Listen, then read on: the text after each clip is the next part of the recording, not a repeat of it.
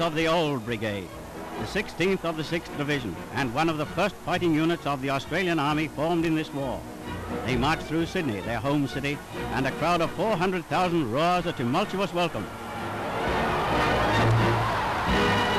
Three years ago, almost to the day, the 16th was cutting and fighting its way through the Italian wire outside Bardia. Then followed the drive to Benghazi, Greece, Crete, Syria, and finally home to face the terrible Kokoda Trail over the Owen Stanleys.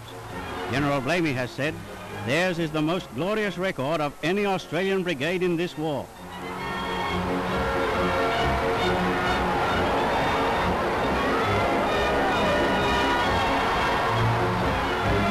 Few of the originals marched today.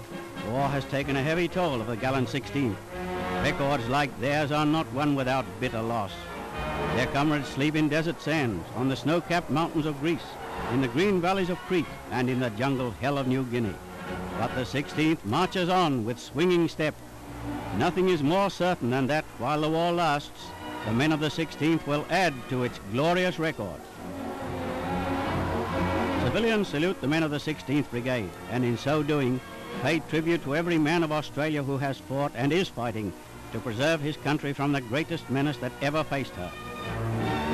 Peace in its due time and the passing years must never be allowed to efface from our minds complete realization of the tremendous debt owed to every one of them.